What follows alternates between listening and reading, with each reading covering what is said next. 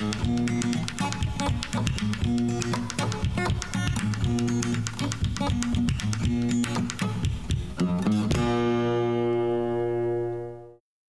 my grandfather came to our farm back in the 30s, he came with horses and he grew oats to feed those horses. So, you know, those those horses were his power. That took him to town and pulled his plow. And, and now we're growing, you know, a, an oil crop, which, which is our power now. And it's just a, a different time, a different technology, but it's kind of the same thing all over again.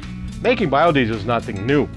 We're not inventing anything. It's growing it and uh, from start to finish on the farm is what's really exciting. I can envision being some small producer groups in four or five locations around the state uh, so we aren't transporting seeds long distances. The infrastructure is, is slowly coming together to be able to produce biodiesel. Growing the oilseed and making our own biodiesel last year, we were 100% self-sufficient on fuel. So we uh, ran all our equipment, all our diesel tractors on biodiesel, and we didn't buy any diesel fuel at all. So it was really gratifying to be able to do that and not be dependent on foreign oil or whatever you want. And uh, we're doing this for $1.71 a gallon. So that's the real exciting part of it. It's real economical also. We're looking at 450, 465 a gallon off-road diesel.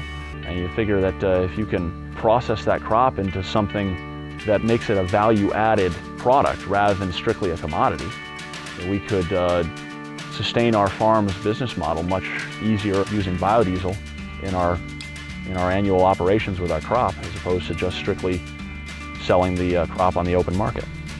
Biodiesel became a realizable goal for us where we could contribute to our energy use on the farm. And we had the equipment and the growing knowledge to go ahead and attempt that. I became interested in oil seeds in 2004. Um, as fuel prices began to rise, farmers started to think about how they were going to cut fuel costs.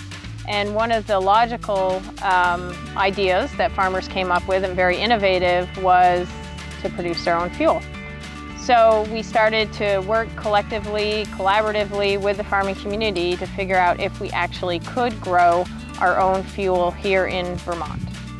I really believe that doing biodiesel is probably the cheapest investment a farmer can make to be self-sufficient on an energy source, which is biodiesel. This is biodiesel. This is biodiesel. This is biodiesel. This is biodiesel.